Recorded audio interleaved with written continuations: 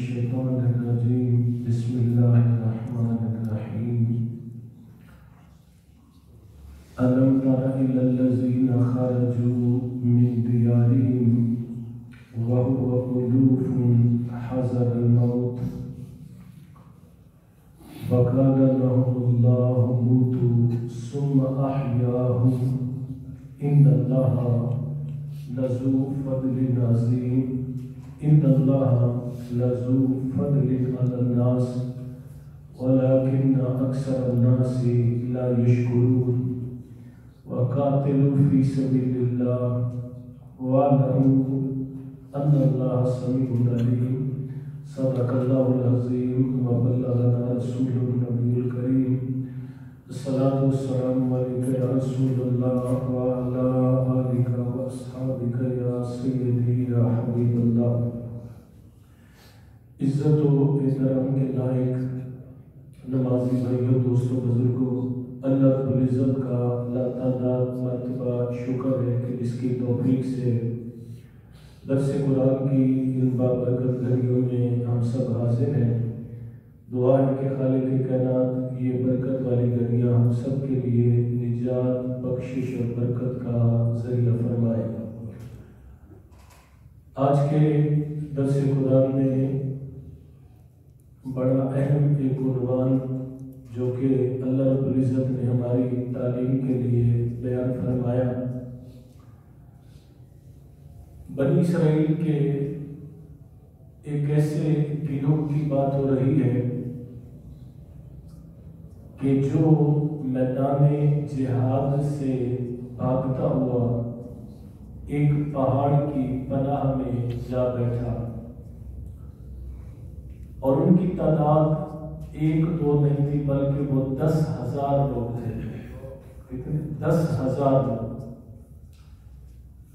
मौत से डरते हुए वो पहाड़ में पनाह गुजी हो गए। अल्लाह ताला को उनका ये अमल पसंद ना आया कि इनका नबी इन्हें जिहाद की तरफ़ बुला रहा है और ये जिहाद से मुँह मोड़ के पहाड़ में पनाह गुजी हो रहे हैं। तो अल्लाह ताला ने उन दस हज़ार अफराद के लिए हुक्म फरमाया, मुतु मर जाओ तो फिर वो सब के सब वही मर गए। उसी जगह। उस वाक्य की तरफ़ अल्लाह ताला ने इशारा करते हुए फरमाया, अलम तारा, क्या आपने नहीं देखा? इलल्लजीना उन लोगों की तरफ़ खारजू मिन दियारिहिम, जो अपने घरों से निकले। वह और उनकी तादाद हज़ारों में थी। हज़ार मौत मौत के डर की वजह से अल्लाह ने फरमाया, मर जाओ। वो मर गए। फिर अल्लाह ने उनको ज़िंदा कर दिया फिर अल्लाह ने ज़िंदा कर दिया। ये हज़रत हजकील अलैहिस्सलाम थे ये अल्लाह के नबी थे मूसा अलैहिस्सलाम के बाद आए। ये हज़रत हजकील अलैहिस्सलाम जब उस पहाड़ तक पहुँचे कि जहाँ पे ये दस हज़ार लोग मर चुके थे और लोगों ने इनको दफनाया तक भी नहीं था, बल्कि जहाँ पर ये पड़े थे, उनके इर्द गिर्द बाढ़ लगा दी गई थी। कि इतने अफराद को जो है, कौन दफनाए और इतनी कब्रें कैसे बनाए, इनको वैसे ही वहाँ पे छोड़ दिया गया। और फिर इन्हीं में से कईयों की लाशें वो थी कि जो परिंदे खा गए, कईयों की लाशें थी जो जानवर खा गए। हज़रत अलैहिस्सलाम वहाँ से गुजरे। तो आपने जब ये मंजर देखा तो आप हैरान हुए कि ये इतने लोग मैदान जिहाद से भागने की वजह से अल्लाह की नाराज़गी का शिकार हो गए। तो हज़रत हजकील अलैहिस्सलाम ने उनके लिए माफ़ी तलब की अल्लाह ताला से। ताला, ये तेरे अजाब में गिरफ़्तार है। मैं इनके लिए माफ़ी माँगता हूँ तो इनको माफ़ फरमा दे। तो हज़रत हजकील सलाम को अल्लाह ताला ने फरमाया कि अगर आप दुआ करें, अगर आप दुआ करें तो आपकी दुआ पे इन सबको मैं ज़िंदा कर दूँगा। तो हज़रत हजकील सलाम ने उनके लिए दुआ फरमाई, अल्लाह ने वो दस हज़ार मरे हुए लोगों को फिर ज़िंदा फरमा दिया। अब यहाँ से दो बातें बड़ी अहम एक ये बात कि दुआ में ये ताकत है कि दुआ अगर अल्लाह का नबी करे तो अल्लाह के नबी की दुआ से अल्लाह मुर्दा को ज़िंदा फरमा देता है। मुर्दा को और ये हज़रत हस्कील सलाम थे।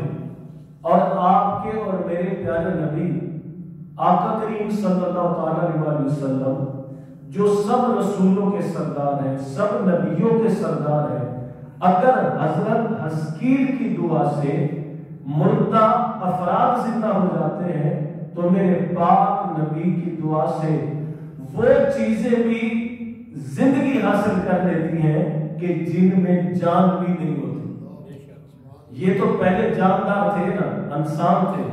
ज़िंदगी कैसा गुजार के मरे, फिर नबी ने दुआ की ज़िंदा हो। आपके और मेरे प्यारे नबी का ये मुआवजा है। और ये एजाज है कि अगर आपकी दुआ और निस्बत उस चीज़ के लिए हो जाए कि जिसमें जान भी नहीं थी, अल्लाह उससे भी जान अता फरमा देता है आपने तो सुना कि मस्जिद नबी में हजूर खजूर के तले पर बैठ के दर्श देते थे। वो हजूर के जिस्म की निस्बत से उसमें जान आ गई। और कहते हैं कि ऐसे होता था कि जिस तरह उठनी का बच्चा जो है, अपनी माँ के लिए होता है। ऐसे होता था कि जैसे बच्चा दूध के लिए बिलक बिलक के रोता है, और माँ की तलाश में होता है तो वो हमने देखा खजूर का तना वैसे हो रहा लेकिन फिर हजूर ने उससे बातें की। हजूर ने फरमाया, अगर तू चाहता है कि तुझे यहीं पर मैं फिक्स कर दूँ, और तू मेरी मोहब्बत का मरकज बन जाए तो बता। और अगर तू चाहता है तो मैं तेरे लिए दुआ करूँ अल्लाह तुझे जन्नत का दरख्त बना दे और तुझे जन्नती लोग खाया करे जब देखे कितना बेजान चीज़ है। हजूर ने उसमें जान डाल दी।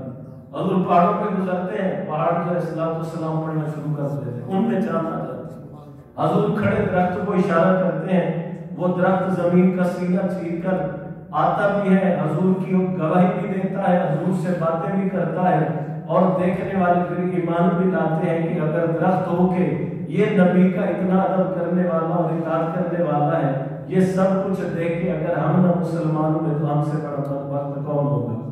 तो हज़रत हजकील सलाम ने दुआ की और वो सब लोग ज़िंदा हो एक तो ये बात कि दुआ में ये ताकत है कि दुआ मुर्दा इंसान को ज़िंदा कर देती है, मुर्दा ज़मीन को जगा देती है। दुआ करने से अल्लाह खुश होता है। दुआ हर वक्त, हर हाल में कबूल होती है। लेकिन अल्लाह करता अपने अंदाज के मुताबिक। अगर फ़ौरन बंदे के हक में बेहतर हो, अल्लाह फ़ौरन कबूल कर लेता है।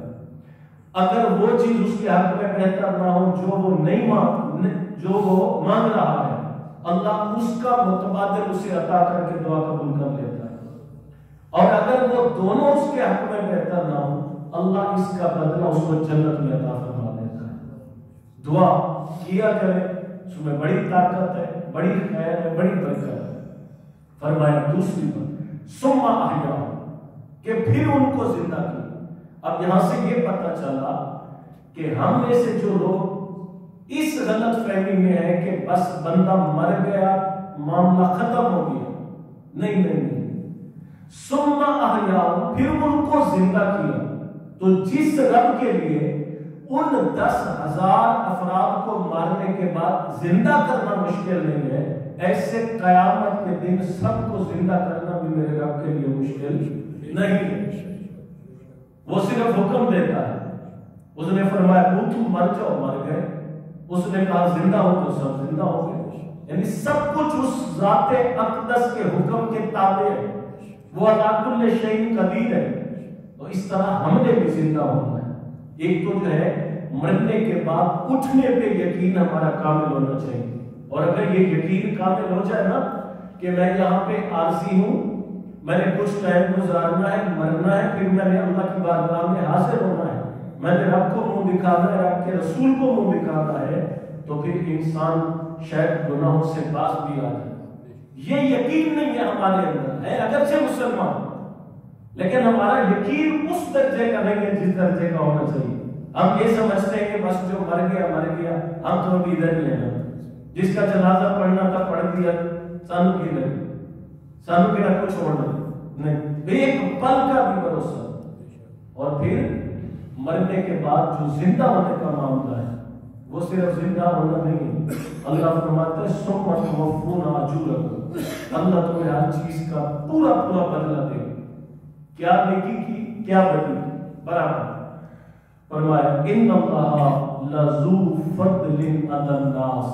अल्लाह अपने बंदों पर बड़ा फजल करने वाला है। फजल करने वाला। और यकीन जाने, अगर अल्लाह का फजल शामिल ना हो तो शायद मुझ समय कोई भी इस धरती पर रहने के काबिल न अल्लाह से फ़सल मांगा करे एक होता है उसका फजल और एक होता है अल्लाह का अदल। अदल की तो जब बात आती है ना तो सुल्तान बहुत जैसी शख्सियत भी कहती है कि अदल करे थे थर थर कंबल ऊंचिया शाना वाले फजल करे थे बख्शे जामन के मुकाल और अल्लाह ने फजल के तहत जो है, ये निज़ाम कैनात बरकरार रखा हुआ अगर वो अदल पे आ जाए तो शायद हम में से कोई भी ना बच सके। वो एक दिन जुमे के खुतबे में मैंने हदीस बयान की थी। हजूर फरमाते हैं कि मुझे क्यामत का एक मंजर दिखाया गया। एक शख्स ने पाँच सौ साल इबादत की। अल्लाह ने जब उसके जन्नती होने का ऐलान किया तो अल्लाह ने फरमाया कि अदखिलुहाज अब्दी फ़ी जन्नती बिरहमती। ऐ मेरे फरिश्तों मेरे इस बंदे को मेरी रहमत के सदके जन्नत में दाखिल कर दो। जब अल्लाह ने ये ऐलान किया तो वो बंदा अर्ज़ करता है, बारी ताला, मेरी 500 साल की इबादत। अल्लाह ने फरमाया, तुझे इतना अपनी इबादत पे घमंड है तो अल्लाह ने फरमाया, तराजू ले आओ। एक पलड़े में 500 साल की इबादत, एक पलड़े में एक आँख का ढीला रखा गया, एक आँख का। एक पलड़े में 500 साल की इबादत। एक में एक आँख, और जब इसका वज़न किया गया तो वो जो एक आँख वाला पलड़ा था, वो भारी हो गया, और 500 साल की इबादत हल्की हो गई। अल्लाह ने फरमाया, तेरी 500 साल की इबादत, वो मेरी एक नेमत का बराबरी भी जो है नहीं दे सकती, और तू कहता है कि इबादत के सदके जन्नत में दाखिल कर। ठीक है? ये सब कुछ हम इसलिए करते हैं ताकि अपने खुदा को मुँह दिखाने वाले बन रसूल को मुँह दिखाने वाले बन जाए कि या अल्लाह, जो हमारे लायक था, हमने कर दिया। आगे तू रब है, तेरी मर्ज़ी है, तुझे अख्तियार है, जो मामला कर दे लेकिन इस तरह आजसी करने वाला, जब खुदा की बारगाह में पेश होगा, मेरा नहीं यकीन कि रब उसके साथ अदल वाला मामला करे, अल्लाह ज़रूर उसके साथ फजल वाले मामला करवाएगा। तो इसलिए अदल और फजल, और फिर एक बात जहन में रखना। अल्लाह का जो फजल है ना, उसका कोई कैदा कुलिया नहीं है। एक बड़ी अहम बात याद रखना अल्लाह के फजल का कोई कैदा नहीं है। वो फजल करने पे आए तो प्यासे कुत्ते को पानी पिलाने वाली फहशा औरत के लिए बख्शिश का ऐलान फरमा दे। वो फजल फरमाने पे आए तो बिशर हाफी जैसे शराब के नशे में धुत को बिस्मिल्लाह का अदब करने पे जो है जमाने का वली बनाते कहना नहीं फजल का। ये इसलिए मैं ज़ोर दे के बात कह रहा हूँ कि हमारे माशरे में, हमारे मुसलमान भाई हैं वो ये बात कहते हुए नज़र आते हैं, लो जी वो उनने कुत्ते ने पानी पिलाया सी वो बख्शी गई थी, असि नहीं बख्शे जावांगे वो जी, उनने रोटियाँ खवाइया सी वो बख्शा गया, असि नहीं बख्शे जावांगे उनने बिल्ली पाली सी वो बख्शी गई, असि नहीं बख्शे जावांगे भाई, वो फ़सल का मामला है। ठीक है? हमारे पास कोई सबूत, गारंटी नहीं है कि अल्लाह ने हमारे साथ फजल का मामला फरमा दिया।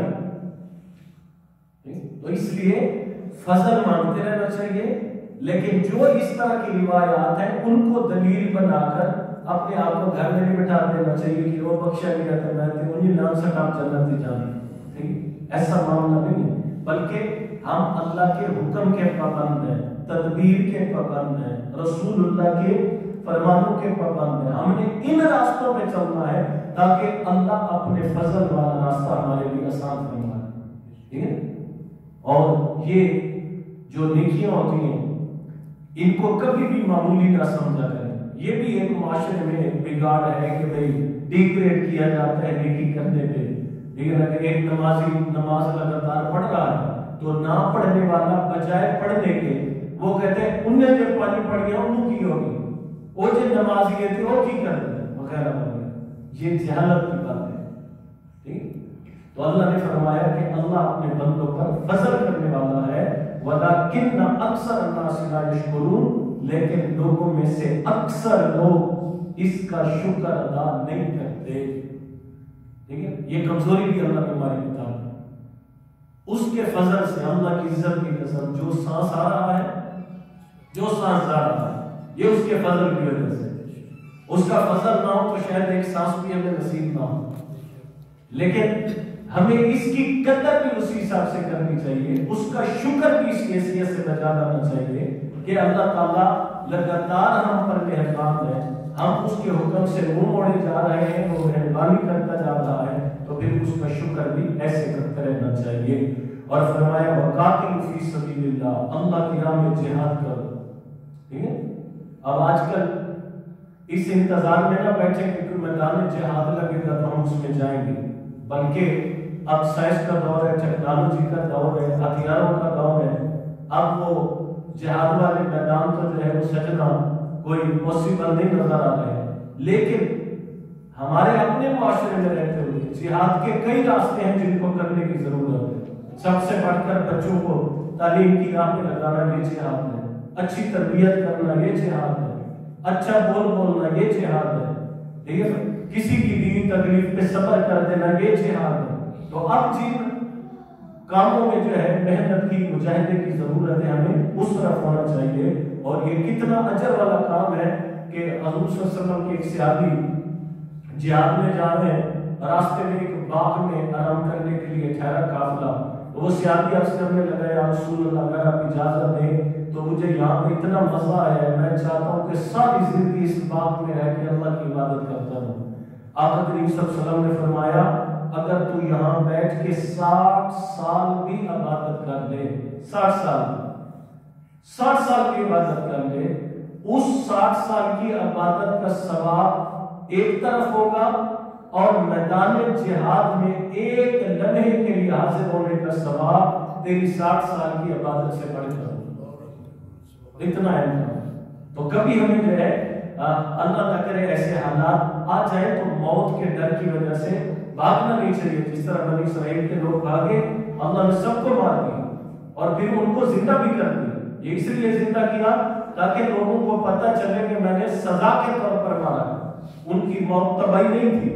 नेचुरली मौत नहीं थी, सजा के तौर पर वो सजा की मौत से फिर ज़िंदा हुए कि शायद वो हिदायत के रास्ते पे आए। अल्लाह ताला ने फरमाया कि अल्लाह की राह में जिहाद किया करो वालम और जान लो अन अल्लाह समीउल अलीम। अल्लाह सब कुछ सुनने वाला और सब कुछ जानने वाला है। अल्लाह हमारे अमल से वाकिफ है, हमारे हर कौल से वाकिफ है। वो हमारी शहादत से भी हमारे ज़्यादा करीब है।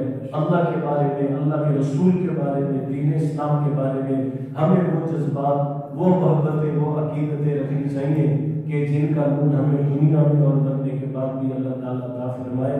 अल्लाह के हजूर इल्तिजा है कि अल्लाह ताला आज के दरस कुरान की बरकत से हमें अपने फ़सल और अपने रास्ते में हमें जिहाद करने वाला मेहनत करने वाला अमल करने वाला बनाए।